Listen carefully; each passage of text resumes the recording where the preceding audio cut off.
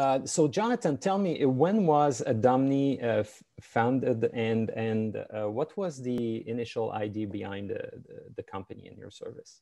Sure, sure. So, uh, uh, when I got involved in Adomni, it was 2015. Um, my, my, my co-founders had actually come up with the idea in 2009, um, but it was five or six years before you know they met me, and, and we ended up kind of turning it into an actual product and a service.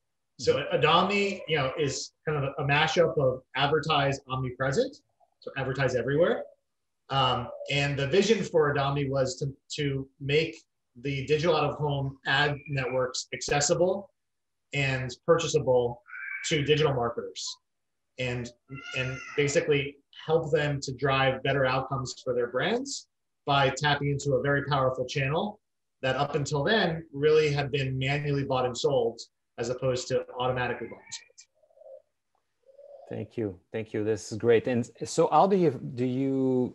Uh, how is your position different than other programmatic digital out of home buying platform um, available in the marketplace? Sure. So from day one, we brought a lot of our own backgrounds into the ideas of what a, a, a different user experience is from the buy mm-hmm. side. I come from e-commerce. I spent the first 15 years of my career um, taking an offline business that was printing and moving it online. And one of our other co-founders um, was the head of software for Zappos.com, the shoe company.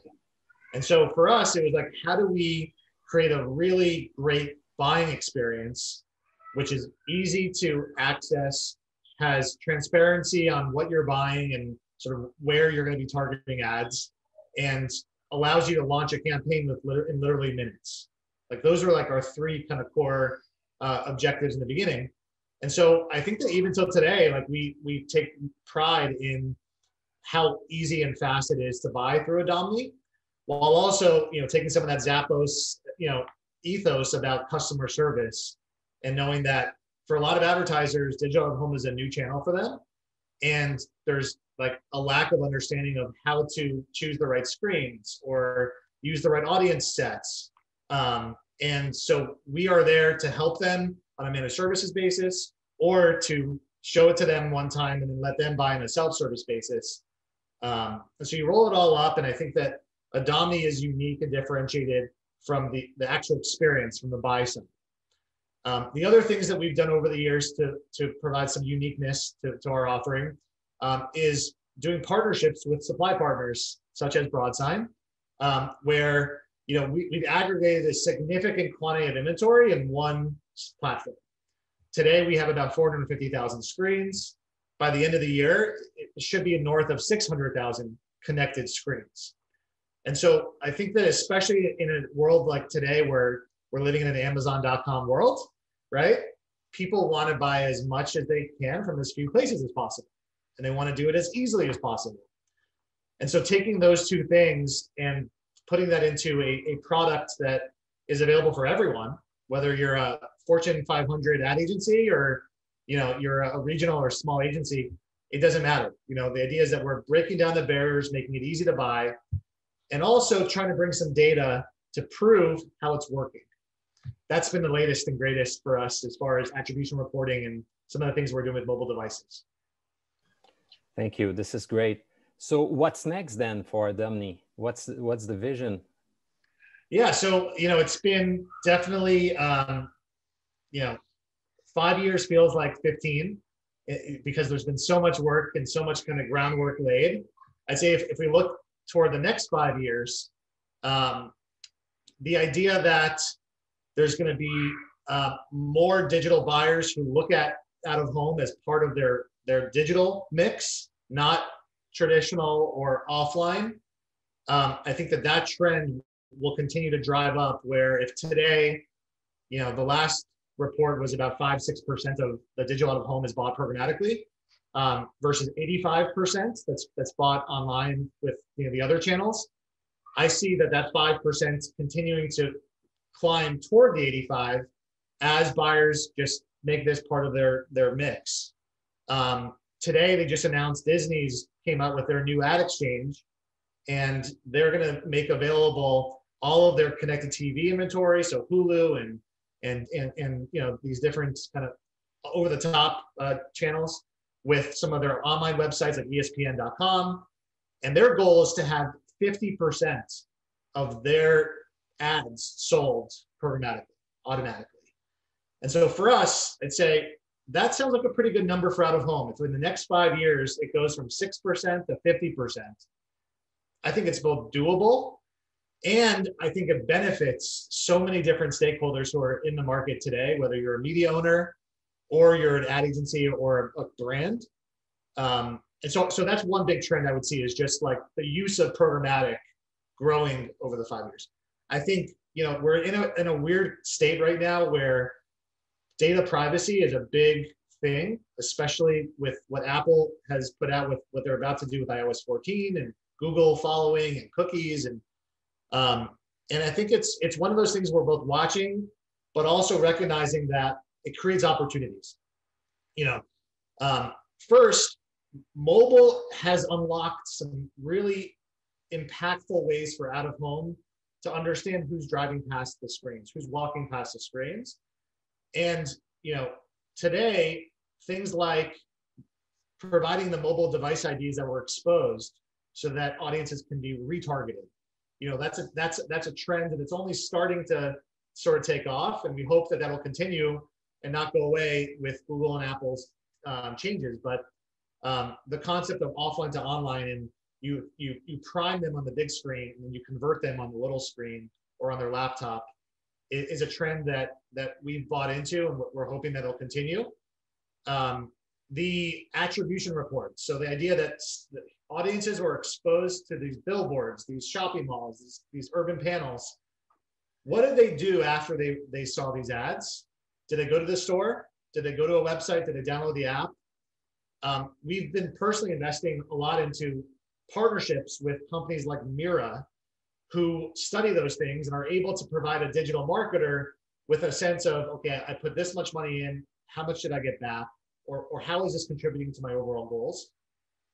Um, and so for us, this year was definitely a, you know, making digital out of home look and feel and act like the other programmatic channels where there, where there is some accountability to it, um, while also not making it the only thing that we're telling digital marketers because it could go away. You know, there, there could be uh, a loss of mobile device ID, you know, um, access because of what Google and Apple are, are, are talking about doing. Um, and so, like you were saying earlier, the, the contextual relevance still needs to be the primary sort of value proposition, you know? And, and um, but I, I'm really excited about, like, I, I believe, this is just my own personal belief, mm-hmm. I don't believe that it's just going to disappear. Our ability to like understand audiences traveling past our screens. It might be a little different than the IDFAs and the Google Advertiser IDs, that the way that they're being accessed today. It might be called something else. Mm-hmm. Um, but if we think of a five-year horizon, I, I do believe that the measurability will still be a piece of our offering, even if it's not every click, every direct response channel type of measurability. Right. Yeah, that's interesting. And and can you tell me more about your your take on contextual while we're talking about this? Like, what what is, um, in your opinion, from what you've observed in the marketplace and the and the requirement or the the, the requests you've received you know um, from the industry agencies uh, like on what are the triggers uh, that can be interesting to to look at uh, for for Domni and, and as an industry you know what are those triggers? Like we, we've long time like the, the, the famous weather is is is one of them right? Day parting is is definitely interesting but there's an infinite number of data triggers that could be accessed and feed, fed into a dsp to to uh, allow them to bid on specific um, uh, based on, on, those data and inputs and, and, generate much more relevant and contextual uh, experiences for the end user. Uh, what what's your take on this? Yeah, so I, I think it comes in many flavors, and ultimately, I think the goal for any marketer is trying to find the right place, the right time to reach an audience with the right message. And if you boil all that down, it's just one word, right? Relevance.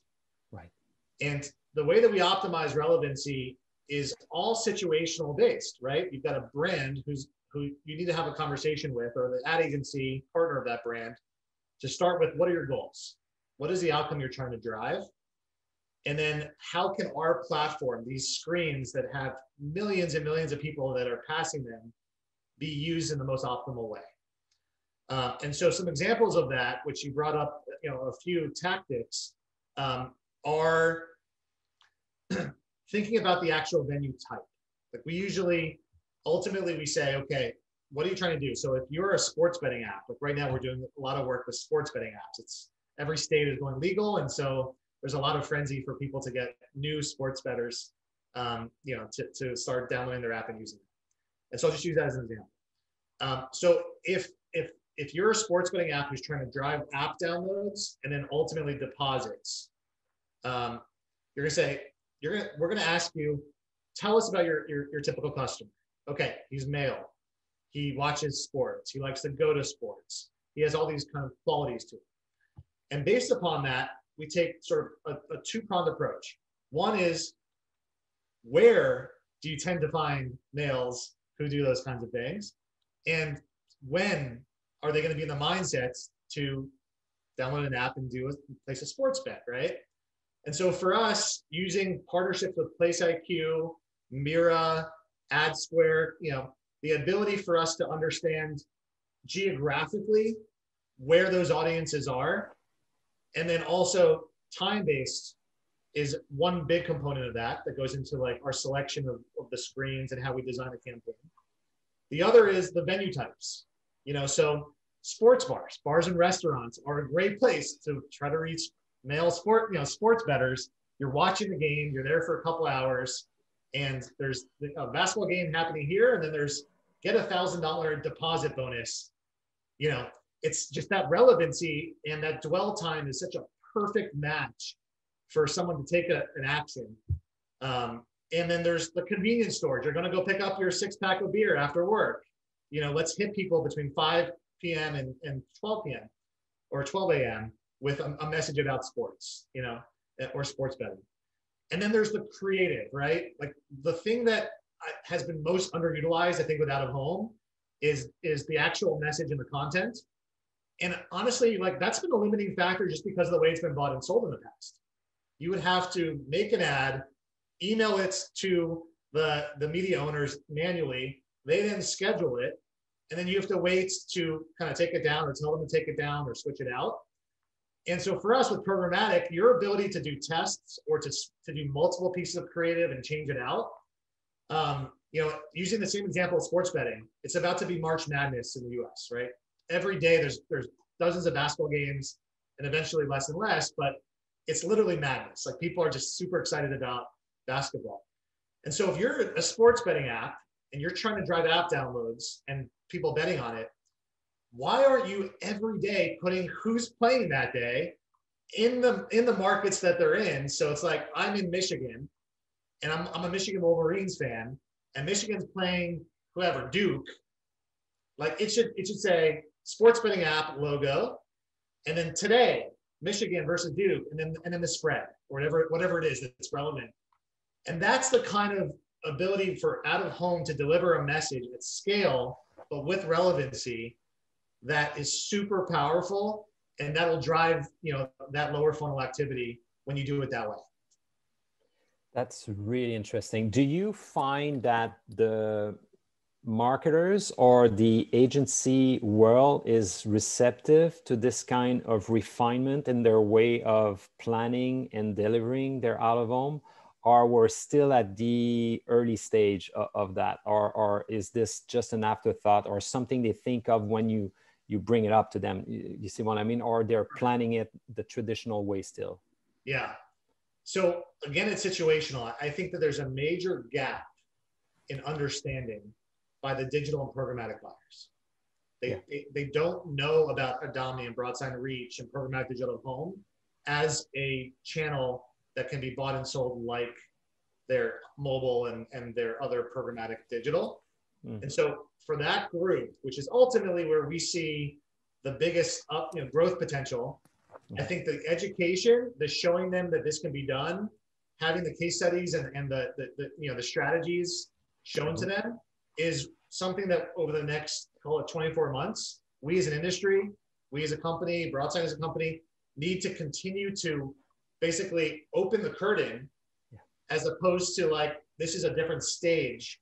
You know, the main event is over here. It's like, no, this is here. It's available now. You could do this. Um, and I think that there's going to end up being two sort of flows for that digital programmatic. One is the platforms like ours, which are purely focused on digital out of home with mobile for retargeting, but mostly digital out of home, where you're going to have an experience that's built for digital out of home. So your ability to do proximity radius, your ability to do audience targeting and see the different screens, um, where yes, you have Google, you have Facebook, you have Trade Desk, but you also have an Adomni because it provides that that experience, that you know, that that reporting, everything that's perfectly built for digital. And there's going to be some portion of, of advertisers that are just like, I'm good with another channel, another platform, because it creates so much value for me, and I want, I, I really want that, the you know, that type of a buying process. Then there's the programmatic digital buyers that are saying, I don't want another platform. Like I need another platform. Like I need a hole in there, right? Like I want to do all my buying in one place, just like I buy on Amazon.com. And so if it's Trade Desk or DV360 or Mobi, whatever it is, we have to make that available to them there. And even if it's not going to be the exact, you know, channel specific user experience, um, there's going to be an ability for them to do targeting, launch campaigns in those platforms. And so to answer your question, I think it is very much early days for the digital buyers. They just either don't know about it or it hasn't been reinforced enough through the industry.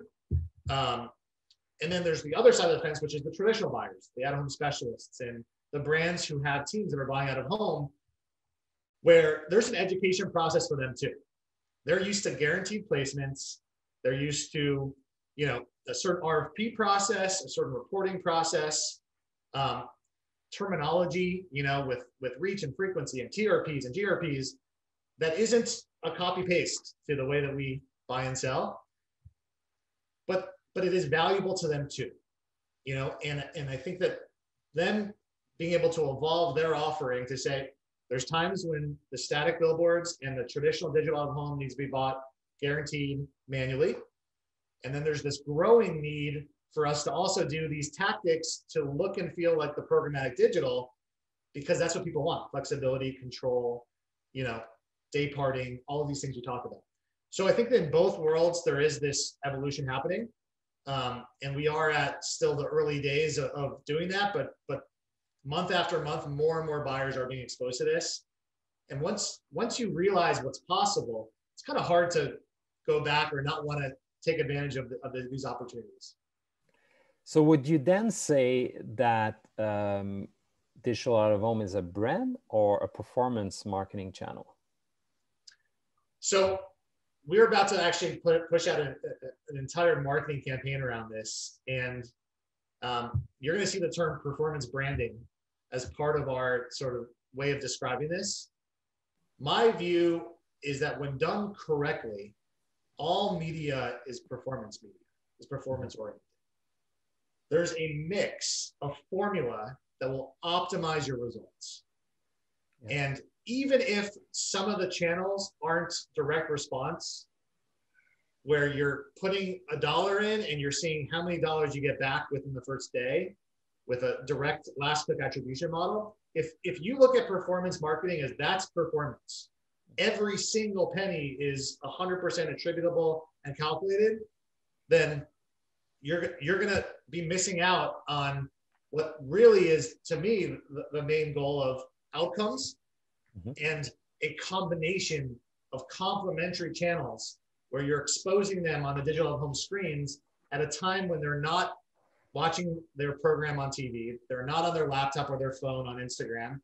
They're traveling through the world and their mind is open mm-hmm. and you're not, you know, worried about brand safety issues and you can basically plant seeds in people's minds that by the time later in their day they're on their computer they're on their phone mm-hmm. or they're in a convenience store they're like what's what soft drink do i want to buy what candy bar do i want you're you're able to influence those and and so I, I firmly believe that at of home is a performance catalyst for mm-hmm. marketers.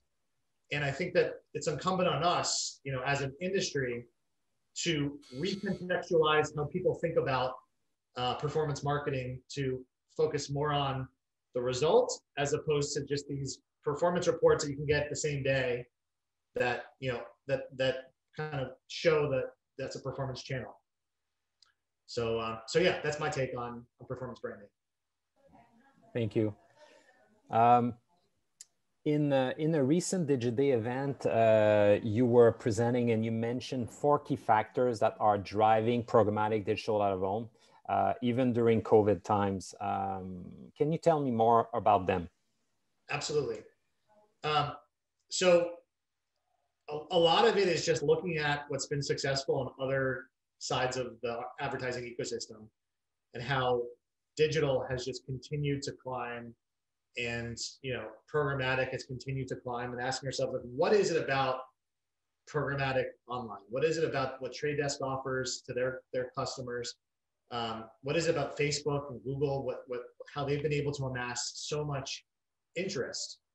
And those four things you know firstly it's the ability to go to a website click you know be able to buy and have that accessibility be at your fingertips 24 7 um, I think that's that's number one.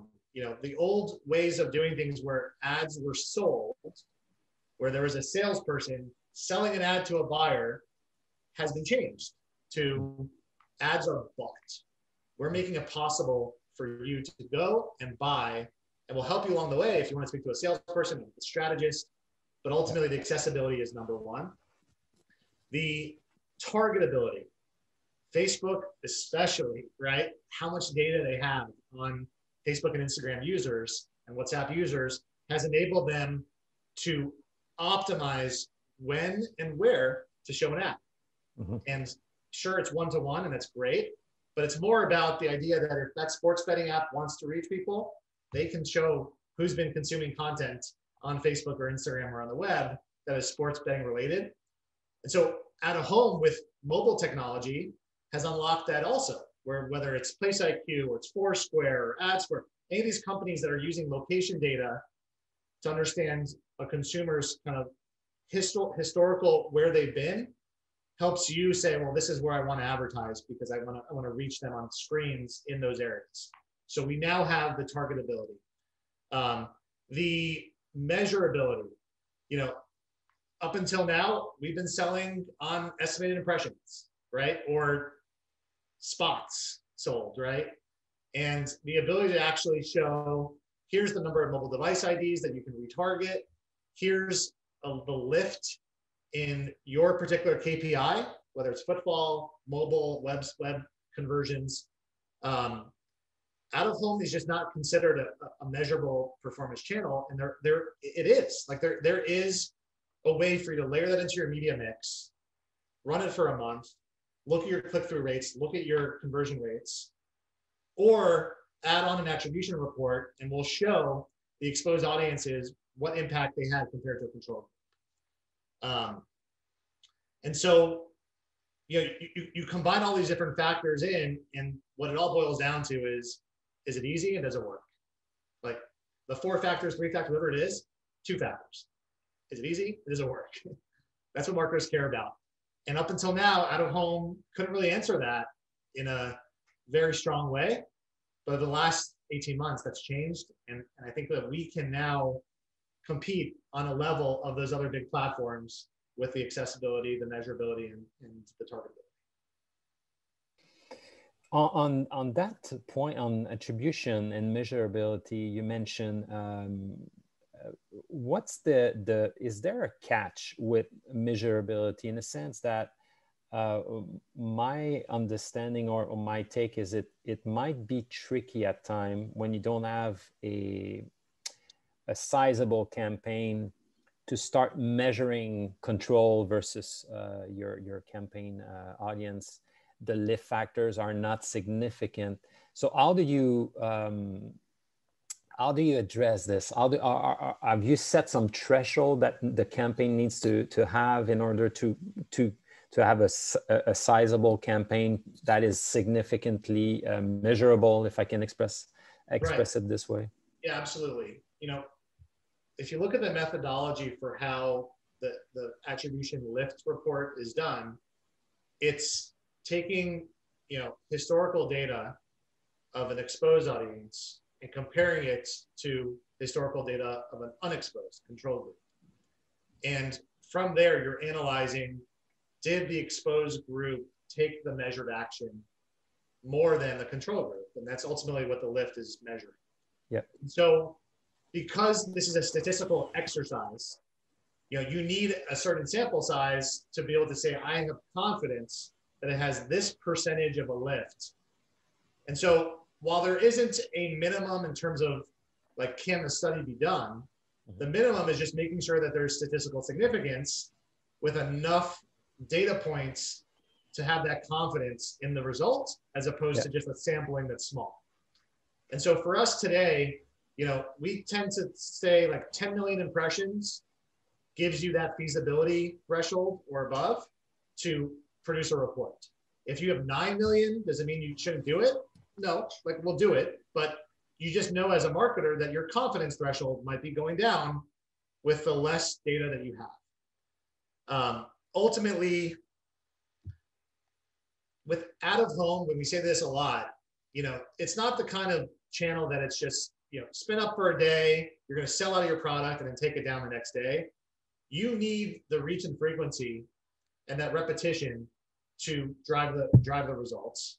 And so that's why I mean to, to do you know a, a 28 day campaign, which is typically what we see for attribution reports, you want to be doing that anyways. Like if you want the, the best results, you know, you want to have the 10 million impressions. Um, but I will say that the measurement is has to be kind of positioned correctly where this isn't last click attribution you put in a dollar tomorrow you'll see how many dollars you got back yeah this is you're going to run a campaign it's going to contribute to all of your objectives across all the different touch points not just as a standalone mm-hmm. and then a week or two after the campaign is over we're going to show you the sort of lift you had directly attributable to the out of home um, and if your campaign is too small or it's just focused on some areas that just isn't conducive, that's mm-hmm. fine. Mm-hmm. Like we can still create value for you. Um, but uh, but ultimately, you know, for us as a company, we've been wanting to prove it, to show it to customers, and even say, look, we're going to pay for it. We're going to buy your attribution report. That's how confident we are in you doing that. Um, let's just make sure that, that you set up your, your campaign for success. Thank you. Um, I want to talk scale. You mentioned that at Domni, you, you guys have 450,000-ish screens in the US. Um, can you tell me more about the diversity of your inventory and and um, and, and, maybe some uniqueness uh, to it? I think one of them is is fairly um, the Uber partnership. I think is is quite interesting to mention, but there's others that I might not be aware or our audience is not aware. Can you can you tell us more about this? Sure. So the 450,000 is, is actually a global footprint. Um, yeah, apologize. Yeah. yeah, no, it's okay uh, but the majority of it is in the U.S. So so um, I don't know, 80, 80 to 90 percent probably in the U.S. Okay. Um, so so yeah, so so since day one, Adomni has been, you know, like focused on working with as many supply partners as possible. Mm-hmm. And in some cases, it's SSPs. In some cases, it's media owner direct. Mm-hmm. But ultimately, our business model is not on the supply side; it's on the buy side. And so, over the last five years, um, I think right now we've accumulated of 185 unique media owners, publishers whose inventory is on the platform. Uh, it grows every week, um, and it spans about 40 different screen formats, which we, call them venue types as of the last, you know, uh, industry-wide collaboration because it was just crazy. Some people call call billboards, and, and so 40 different venue types. Um, every single DMA in the in the U.S. Mm-hmm. We've got, I think, 18 other countries um, Canada, Australia, UK in particular, but mm-hmm. also other Western Europe. And, um, and so, you know, we've had campaigns for clients like UFC, who's a global brand, who's selling a pay per view fight globally, who might launch in the US and Australia and Europe at the same time. Um, and then we we've also had small campaigns where they just want to focus in one market and it's a, a sale or something kind of localized. Mm-hmm. Um, but it's everything from the super small screens, which is, you know, like, you know, a convenience store screen that's, you know, 15 inches, all the way up to Times Square mega screens, you know, Las Vegas Boulevard, where you have a spectacular by Branded Cities that's like a football field wide, um, and everything in between. So many different sizes, shapes. Um, we've, you know, through the partnership, you know, Lamar out Outfront, Clear Channel Outdoor um, for the outdoors in the outdoor space, Adams Outdoor. On the indoor, we have um, you know Lightbox and Zoom Media and uh, Rouge and, and NRS and, and just dozens more. So think we like to say it's like wherever you can imagine a high traffic area, whether it's a store, it's a roadway, it's a train station, an airport. Um, we have we have screens that uh, through our partners um, you can access. The, the one new one that is sort of you know unique is is Uber, um, where Uber is you know that is a public company and they're looking for growth opportunities just like everyone else. And they, they realize they've got 6 million cars on the road every day. And that's a lot of miles being driven, a lot of kind of exposure for that car is having. Yeah.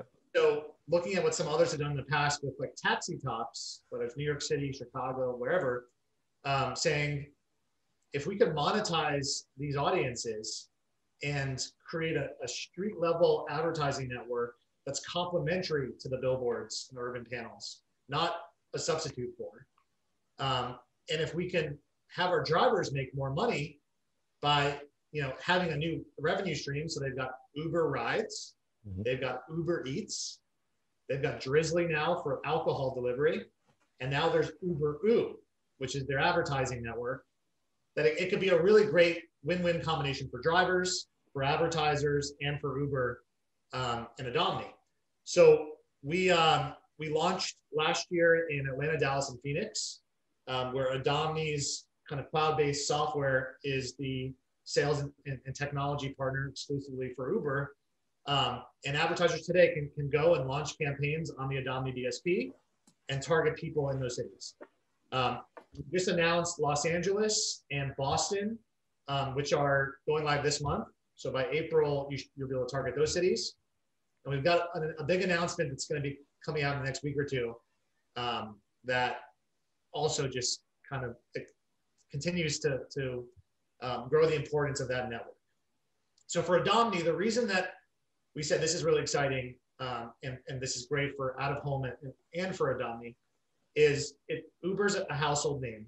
It's a brand that people use sometimes daily, especially in the normal non-COVID world and the ability for um, you know for us to do screen sequencing where someone gets picked up by an Uber OOH, there's an ad, and then that ad is driving through the city exposing cars and, and pedestrians. And then also have that ad shown on an urban panel or on billboards where you're getting that 360 degree kind of penetration for a message um, is just a very powerful communication platform when you combine them. Um, and so, so we're really excited about that partnership and and what it's how it's going to draw attention to out of home in, general because this is an out of home network. Um, and yeah, and, and so if you, if you, combine it all up, um, again going back to the accessibility, it's it's being able to reach audiences everywhere in an unmissable way. Mm. So, uh, uh, in terms of choice of an SSP for you, like uh, in in in the future i mean accessibility of screen will i mean we're almost there in terms of commoditization of screens it's it's becoming available to most dsp you have an exclusive partnership of course with uh, uber you just mentioned which is great but how do you uh, then um, what's important to you in the choice of an ssp sure yeah so um, for us, we always go back to the customer and what's going to be best for the customer. Mm-hmm. And when they launch a campaign and they establish their budget, that needs to be spent. Like those ads need to be delivered. And their desire to return is going to be a combination of did I spend the budget I wanted to spend and did it work? Right. And so when we when we look at SSP partners, um, ultimately there's like what inventory is being brought is at scale, is is unique, is valuable. Like number one. But number two is how well built is the SSP so that when we're getting the bid requests and we're responding, are we winning those? Are we clearing? Are we spending the budget? And is that happening in a, in a rapid enough time frame where our algorithms that are deciding what to spend, which is all based on a daily budget that gets broken down into hourly segments, is are we getting the timely information and is it is it working where we could say this is a trustworthy high fidelity ssp partner that we can we can we can spend money with and, and, it, and it, works. Um, the other side of it is you know the quality of the people that you're working with. You know our dev team is, is got to be lock and step with the dev teams for the ssp they need to be talking the same language. There needs to be you know notifications because both companies are changing. And th- there needs to be great communication flow when updates are happening so that we can respond and there's not outages or there's not a lack of taking advantage of new features.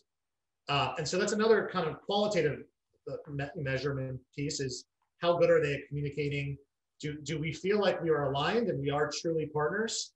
Um, or is it more of like, here's the platform, let us know when you've got, you know, you know, revenue and, you know, that kind of thing where there's been some instances where we've run into that where some big companies just don't don't look at it as a true partnership that they want to invest in and and have that that sort of communication flow and open dialogue. Um, and so ultimately, I, you know, I, I, think with Broadsign Reach, we were one of the first ones, and um, and you were one of the first ones for us too that we kind of plugged into versus just directly integrating with media owners. And it's just been an absolute pleasure from the standpoint of setting the expectations, delivering on what you said, um, you know, having the scale of inventory that has has been able enabled us to have companies like Walmart actually place campaigns over those pipes. And then when there's been changes, you know, we're, we're, we're notified and we're working through those together collaboratively. Um, and so it's really the definition of partnership is, has been what Adomni and Broadsign, I think, have shown over the last few years.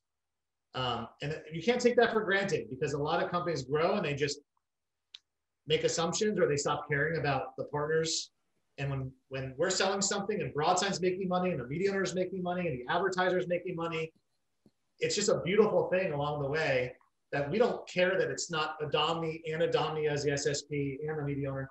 We don't care. Like mm-hmm. the whole mm-hmm. value chain benefits multiple parties Mm-hmm. Um, and, and, and that's how we can scale bigger and also, you know, all make money together. That's awesome. Thanks for the feedback. And, and I echo that. I mean, um, from what I heard, uh, you, you saying what comes uh, to mind is there's a, there seems over and beyond like what you just mentioned there's a match in values i think between the two companies of wanting to make things done uh, do the right thing, uh, the right attitude, right? I think that's that's super important um, in in in the current context, the business context, uh, which is we all know it's been a rough year. Um, sh- shifting gears here, um, last year was a tough one for our industry, um, uh, but it was a year of consul- consolidation in the sense like media owners became stronger uh, look at their uh, operation, making them more efficient. Uh, and, and the programmatic um, channel, all the, the, the ecosystem, I think, is also coming up on top, stronger and more resilient than ever. Uh, how do you see the rest of 2021? Nobody has a crystal ball, but uh, where do you see things uh, panning out? Yeah, I, have said this on a couple kind of group meetings also that 2020 was the best of times and the worst of times. Mm-hmm. Certainly, the, the revenue and, and the, the buy side, you know, did shrink, but that opened up an opportunity for more investment into technology, into partnerships, and um, into data measurability that are things that we needed. Like Adomni mm-hmm. needed it, the industry needed it, um, and so the, the, the smart companies, I think, did were the ones that didn't just, you know, retreat, and you know, or if they could, some companies had to, but mm-hmm. um, for us, you know, it was we seized that opportunity. Like we as a company were more productive than ever before with teams that were able to really focus and deliver products with a time when you know there wasn't as much demand and constant sort of you know servicing clients and, and all that. Um, i i look at it as a pendulum right? The pendulum swung all the way to the other side as advertisers were afraid and advertisers rightfully so didn't feel like the channel had the audiences to deliver you know a, a meaningful impact. I think that the pendulum swings the op- complete opposite end where as human beings, what we've been through is so unnatural. And as human beings, like the ability to go to a bar restaurant and have a beer with friends, to go to a concert, to go get on an airplane and go to on vacation with your family are like fundamental needs that we have as human beings that have not been fulfilled. And that pent up demand, that unnatural, artificial, you know, closing up is about to wide open. And I would I predict, and, and this isn't like shocking, but I predict that there's going to be more movement, there's going to be more travel, there's going to be more spending time with friends, being out and about than ever potentially in recorded history, because we need to sort of right the wrong of the last 18 months. Mm-hmm. And so when you think of us as a channel where people pull back, and in that time frame, we now have triple the number of connected programmatic screens and this these new attribution measurement capabilities and better buying platforms, I think that our ability to seize that opportunity, drive up CPMS for media owners, drive up fill rates and, and yields for you know for everyone, and ultimately deliver the, to the advertisers the attention of the consumer, who's now in front of these screens more than ever. I think it's going to be a powerful, you know, second half of the year for us that could more than offset what we went through if you think of it over not maybe a few month period, but over like a one to two month period, two year period. Um, and so we're excited. We're ready. We're excited. There's there's more. There's definitely more work to be done. Um, but we're really starting to see a lot of RFP activity, and you know, it's it's one of those things that when New York is open, LA is open, um, it's we'll be we'll be we'll be waiting, and um, I think that a lot of companies who weathered the storm well and, and invested into it, like us, um, are going to benefit. Totally agree on that. That uh, well put. Uh, I like your. I like that. Thank you. Um, is there? Uh, we we talked about um, last week's announcements from Google. Um, I know I'm, I'm shifting back. You answered um, into uh, an earlier question um, about context and everything. But do you see this as being a catalyst for the industry as a whole? Uh, or is because the announcement is, is is a bit different than everyone was expecting in some in some ways. Um, privacy is at the center of everything now, uh, advertising wise. Consumers are more um, aware of it, uh, more uh, focus on, on, that as well. Uh, everyone in the ad, ad tech industry uh, are are being need need to be creative and finding ways of achieving the same thing before, but in a in a in a more uh, contextual way or a more creative way. Um, do you have anything to add on your answer from earlier? You know, it, it's one of those things that um, it's a very fluid marketplace, and um, and it's it's on us and our kind of data team, our partnerships team, to read every piece of information that comes out, measure everything, every change that's made, and be able to internalize that, and then kind of share that with our customers and revise our, our products around that. Um, you know, for every action, there's a reaction, right? The, the, the, old physics thing. And so Apple basically, you know, taking a stand where they're not an advertising company. You know, they're they're just not, and they're a services company more and more. And they they they realize how much money is being made through some of these services through advertising that they're not privy to, even though they charge Google an insane amount of money every year to be the default search engine for for Safari. So I think that that sort of domino where Apple made a made you know made it took a stance as a marketing ploy. It's not really benefiting them aside from just like people percep- perceiving that their their products are more privacy compliant. And then Google with Android being slightly more as far as market share saying, okay, well, we're going to respond. And we're going to also sort of set in certain things, whether it's on mobile or it's the cookie kind of going away for Chrome. Um, you know, if you're a digital marketer, attribution has been a challenging thing always. Like multi-touch attribution has always been one of those sort of like, you know, 50%, you know, 50% of what of what you think is going on isn't really happening. And I forgot what that the phrase is there, but um and, and so this only hurts, I think, a programmatic and digital buyer who is looking at reports and trying to make intelligent decisions off of that. Um, I, I, think it, it, hurts them in, the, in their ability to, to do some of that. But I also think that Google and Facebook are walled gardens and they're sitting on the, their own data where, you know, they're not going to be as affected. Maybe Facebook through its audience network and some of these things that, that it's doing where it was getting data from other sources, that's going to be affected, but its core business, Google search, Facebook and Instagram ads on their platform are not affected. They're, they know what you're doing, where, where, what you're searching for, all of that.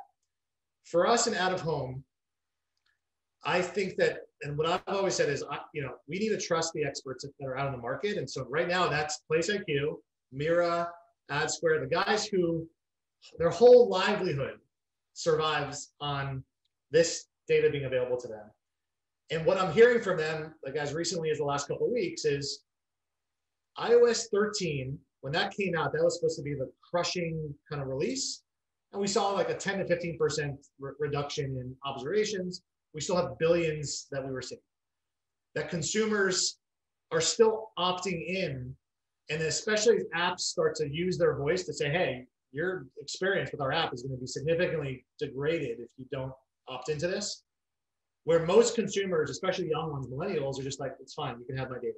I'm, I'm going to just allow where right now they're not as concerned that this is like an apocalypse for location data when IDFA or Google advertising ID goes away. Um, time will tell. Like we need probably a month after it, the release happens, and then people start actually choosing whether they're going to opt in or opt out before we're going to know. But mm-hmm. right now, there isn't this severe concern from the, the people whose whole livelihood relies on that, which we're going to take cues from. Right? They're they're going to be way smarter than we are much more much more revenue that's impacted as a result of that. Um, I do also believe that, and this has gone through software since its existence. Every action is a reaction. So it might not be called IDFA, it might not be called Google Advertising ID, it might not be called cookie, but something will emerge as a new format that allows marketers to understand relevance. Because to sacrifice relevancy purely for privacy mm-hmm. is a destructive exercise. And there are ways with the right people in the right rooms to come up with solutions like Google's whole thing is FLoC right now, where they're going to aggregate, you know, this, this data and still be able to say like in groups, this is how you can target these audiences and where. Like they're not going to cut off their nose just to, just to, to fight off Apple, like, you know? And so I, I personally, like Jonathan and I theory is that it will be this constant. It's like you've got hackers and you've got the spyware, anti-spyware. Like you're going to constantly have these these opposing forces, and it's on us to just make sure that we're nimble enough to roll with the punches, evolve with what the newest thing is, and maintain the core message of it's going to drive results. And whether you're getting it through this mechanism or you're just going to see it through another way, we have the physical world, we have your mm-hmm. attention, mm-hmm. and that is not changing whether it's a cookie, an IDFA, or, or, or a Google advertiser. Thank you for the answer. This is great. And it pushes us, I think, as marketers to, uh, to do good marketing. Sounds simple, but it, it does uh, bring us back to the root of marketing, like you mentioned earlier, uh, pushing the right mess, uh, not pushing, creating the right message um, and, and making it as relevant as possible in the right place at the right time. So this is this is great. I appreciate that. So we're on top of the hour. I think we covered everything. I, I, wish this would go go on for another hour. I really appreciate your time, uh, Jonathan. This this is amazing, really amazing value. We'll we'll um, we'll turn this into, like I mentioned, into a blog post. Um, uh, do, do, you want to uh, do you want to see it prior to publishing it? Do you want to take a look at it? Sure. Yeah, Luba, Luba and I would love to take a take a take a look at the draft once you have it. Perfect. Excellent. I'll share with you.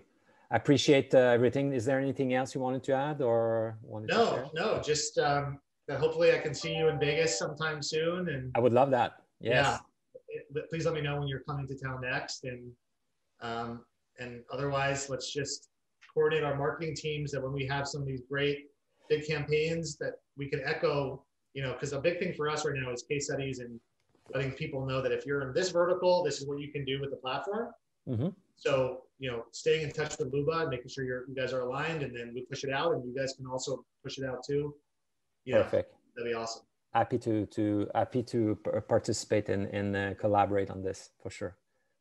Great, awesome, Christian. Pleasure.